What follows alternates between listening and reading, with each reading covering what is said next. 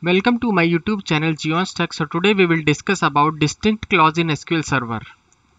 So friends, this is about myself. So what is distinct clause? Distinct clause is used to display distinct records of table in SQL Server.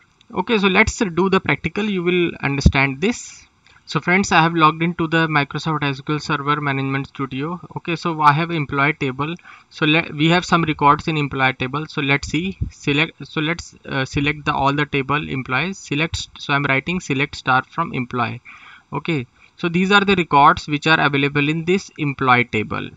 So you can see first is the employee id first name last name address email id phone number and salary. So these are the records which is available in the employee table. Okay so you can see these two records. These two records are completely duplicate. You can see this employee id employee id sachin sachin. These two rows three third one and fourth one these are all all duplicate. Okay so you want to show you don't want to show this duplicate record while selecting okay so you have selected select star all from employee so all record will be shown. But you don't want to see this these two records. You want to see only one record. So how will you do that? So you have to write select distinct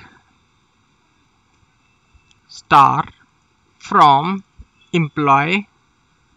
Okay so if you run this query then you will you will see that so you can see that duplicate record is not shown here. Okay.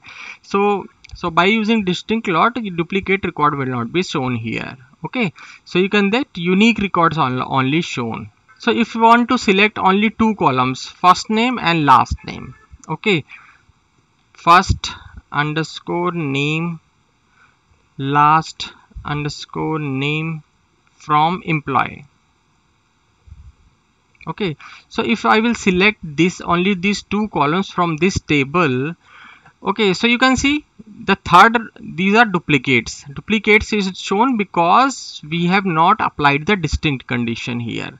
Okay. So if you want to like don't if you don't want to see the duplicate one so then you need to write here before distinct. So if you run this these duplicate record will not be shown. Okay. So let's execute this you can see so you can see all are distinct records. Okay duplicate records are not shown here. So friends hope you understood this distinct keyword.